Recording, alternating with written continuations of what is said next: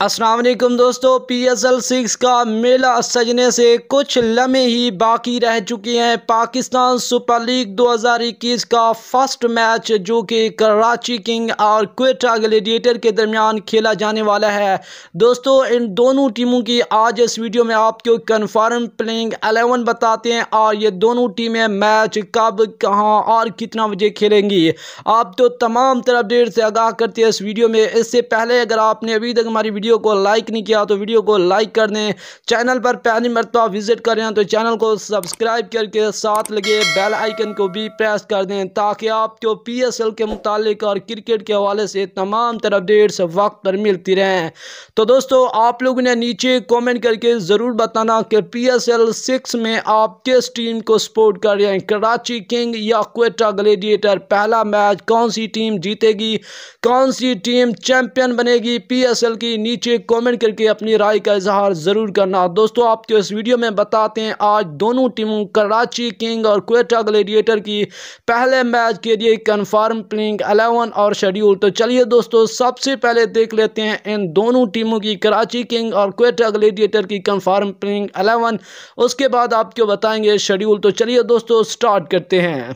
तो दोस्तों, आप दोस्त, इस चीज़ से तो बहुत ज़्यादा वाकिफ़ होंगे कि पाकिस्तान सुपर लीग का पहला मैच कराची किंग और क्वेटा ग्लेडिएटर के दरमियान खेला जाएगा। आज आप दोस्तों को सबसे पहले बताते हैं क्वेटा ग्लेडिएटर की कन्फर्म प्लेइंग एलेवन पहले नंबर की बात की जाए तो क्वेटा ग्लेडिएटर के ओपनिंग बल्लेबाज क्रिस गेल होंगे।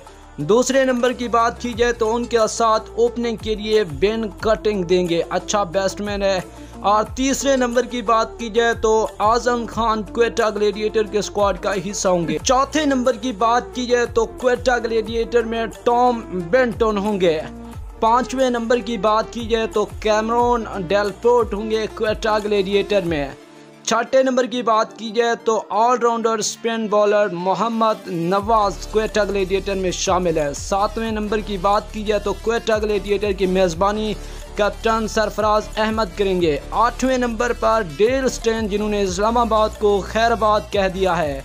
नौवें नंबर की बात की जाए तो उस्मान खान शनवारी, जिन्हें कराची और लाहौर को खैरबाद कह के क्वेटा को ज्वाइन किया। दसवें नंबर की बात की जाए तो फास्ट बॉलर मोहम्मद हसनैन शामिल होंगे। क्वेटा ग्लेडिएटर का ग्यारहवा और आखिरी खिलाड़ी अनवर अली होंगे। तो दोस्तों, अब बात कर लेते हैं कराची किंग के पहले मैच के लिए कन्फर्म प्लेइंग अलेवन पहले नंबर की बात की जाए तो बाबर आज़म, जो कि किसी तारफ़ के मोहताज नहीं है।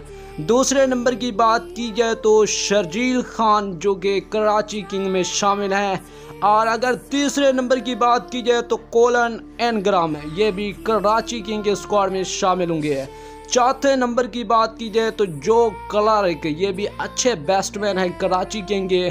पाँचवें नंबर की बात की जाए तो चैडविक वाल्टन, जो कि विकेट कीपर बैट्समैन होंगे।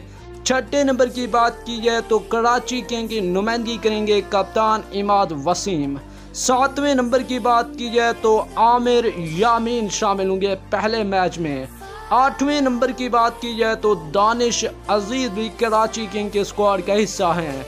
नौवें नंबर की बात की जाए तो मोहम्मद इलियास, जिन्होंने मुल्तान सुल्तान को खैरबाद कह के कराची को ज्वाइन किया दसवें नंबर की बात की जाए तो मोहम्मद आमिर, जो कि किसी तारुफ के मोहताज नहीं है। ग्यारहवें नंबर की बात की जाए तो मोहम्मद नबी, जो कि अफ़गानिस्तान टीम के अच्छे स्पिन बॉलर हैं। तो दोस्तों आप बात कर लेते हैं कि पहला मैच पीएसएल का, जो कि कराची किंग और क्वेटा ग्लेडिएटर के दरमियान खेला जाएगा। 20 फरवरी को कराची में शाम सात बजे पहला मेला सजेगा।